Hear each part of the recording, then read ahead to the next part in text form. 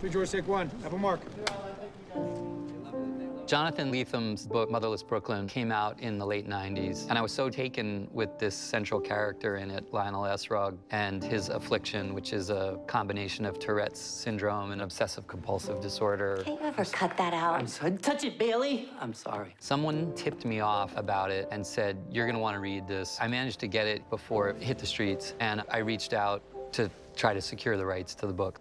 We've been developing the script since 2001, so it's been a very uh, methodical process. We embarked on the journey to make it into a film before it was officially even a book.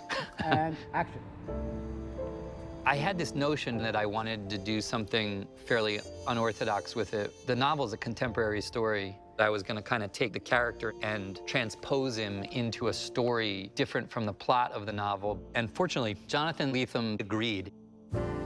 I had to have old school pro actors able to roll with the craziness of me being on both sides of the camera. I needed the opposite of method actors. I needed people who were like stagecraft professionals who were able to engage with me in a highly technical way, have me break out, say, let's do this instead, and not lose the moment. Go, go, go, go, go. That way we have something for the green screen shots of like, come on, we're losing them, we're losing them. Yeah, fast. What do you, what do you want?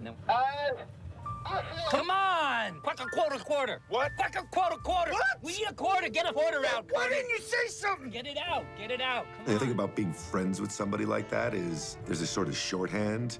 They don't have to worry about your feelings. They don't have to worry about, you know, is it okay if I tell you what I think it should be? It's been a great experience creatively, working with him and having him teach me what he wants to have in his pocket for the cut of the film. One more time, and that's it. Just throw the look to Willem.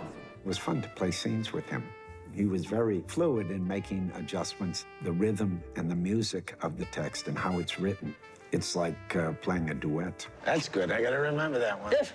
Yeah, well, that's the rubber life, all right. If, if only. As an actor, he's really aware of the camera and the placement of the camera to give the best performance, not only for him, but for the other actors as well. It can be strange when you're acting with someone who's directing you also, but the wonderful thing about Edward's experience as an actor is he gets it. There's certain unspoken actory things that he is thinking too, and he understands and is able to articulate. He just switches from director Let's go again from where we were. with- You go on the stairs. and he turns into Lionel effortlessly. One second we're talking, we're catching up about the kids, and the next, here we are, having this like really charged emotional scene. And I had to stop. Eh. I hadn't seen Edward do the Tourette's thing yet. I said, hey man, let's just take a break because I have to recalibrate here. I forgot how good you are. Sell it and tell it, let a man. Take it. Tell it and sell it. take it easy, have a drink. I had been for a long time very interested in what was going on in New York in the late 50s. Motherless Brooklyn was this great vehicle for going into this incredible secret history to New York, how the old city got converted into the modern city. If I want to build highways while the rest of the country is broke, I'll punch through any damn neighborhood I want. How the roads, bridges, and the tunnels and the housing projects really got made is a really deep and dark story. Decimating low-income neighborhoods in order to build roads and bridges and so forth. There's so many parallels with what's going on today. People who have power and money and how they abuse it and what they will do to maintain their power. I felt that the characters in the book have a very film noir gumshoe sensibility. In the 40s and the 50s, coming out of the war, you had this very particular sense of like America's ascendance. But with noir, what you got was people making films that said, hang on a second, let's peel the edge back and down and under everything that's going on, there's a lot of really dark stuff happening here. The noir hero, he's not part of the mainstream culture. He's an outsider and a kind of underdog hero that you root for. I think that Lionel, being an underdog outsider, has a foot in that role. It's like a piece of my head broke off and got a life of its own and then just decided to keep joyriding me for kicks. Kicks and ticks. There is nothing that Edward isn't deeply involved in during the making of this movie. It's a beautiful screenplay, and it was clearly a passion project. The brilliance of that mind. He wrote it. He's directing. He's starring. Keep it together, freak show. He produced the film along with all the other producers. Directing actors, talking to department heads, and then sliding into a performance that is at once incredibly nuanced and detailed Sorry. It's nothing short of thrilling. She doesn't know. She doesn't know. What don't I know?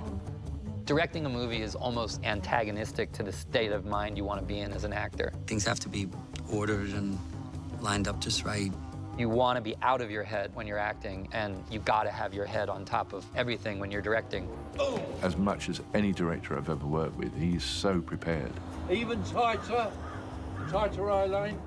And he's so clear about exactly what he wants from every scene. You know, you're gonna have to make sure you don't just do your arm. I think you're gonna have to set it and boom, send your whole body and waist and everything, because it's not really your arm that's gonna take this out, it's your waist. Yes. Okay.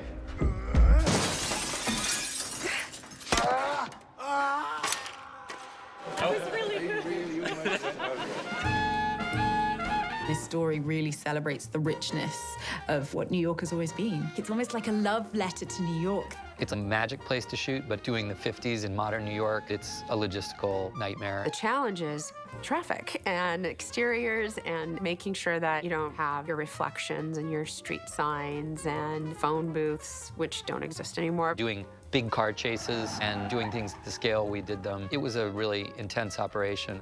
As far as locations and the feel of 1950s New York, we had to go places that are disappearing. We found these wonderful sections of the city that haven't been converted or overbuilt and still exist in their previous form. Evoking that period has been a great deal of fun. We recreated Penn Station in a gigantic hangar out on Long Island, one of the great destroyed architectural masterpieces of America, and brought it back to life. The thing about Tourette's, it's an improvisational condition. For my ass, Bailey. It expresses itself in very original ways in each person. You got a head just like mine, always boiling over, turning things around. But that's music. Some people call it a gift, but it's a brain affliction just the same. Lionel is experiencing the visceral impact that jazz has upon him, understanding that there is a world in which he doesn't feel abnormal. Writing the score with Daniel Pemberton, we started realizing we were going to write this very classical jazz score where you have a period sensibility, but you have a modernism cutting through it that makes it more emotionally visceral because of Lionel's brain and our intention to cinematically depict the way his brain works. I knew I wanted to have like soundscapes that were not naturalistic. When we first meet Lionel in the car, the drums are very fidgety. They're kind of moving around. I wanted the audience to like be taken into his head. I got threads in my head, man. Edward has really allowed the music to be a character in this film. There's amazing performances in the film from Wynton Marsalis and his band. Wynton played all of the trumpet solo through the whole orchestral score. Trumpet player's a jazzmatazz. Oh. I wanted to have one song that was the musical stand-in for Lionel's inner life. Thom Yorke came up with it, and it was amazing. We talked a bit about what the film was about, and he said, I've got an idea. I threw this down. It's see if you think this fits. I was sitting on the edge of the bed at like 6 in the morning in tears because it was just so beautiful, like one of those ballads that he's so famous for. It really captures Lionel's personality and his isolation and loneliness. I said to Wynton, what if you did a late 50s Miles Davis ballad-style arrangement of Thom's song? Thom was like, that's just the best thing I've ever heard. It's in the film, voiced by him, and then it returns sort of in the tissue of the period in its jazz incarnation. Wynton Marsalis and Thom Yorke, it's like almost like trying to take both their kind of worlds and then add my world and create something that all sort of complements each other. This has been a really great opportunity. We all go, boy, I hope he keeps going. I hope he keeps making films like this. I'm just happy to be along for this glorious ride.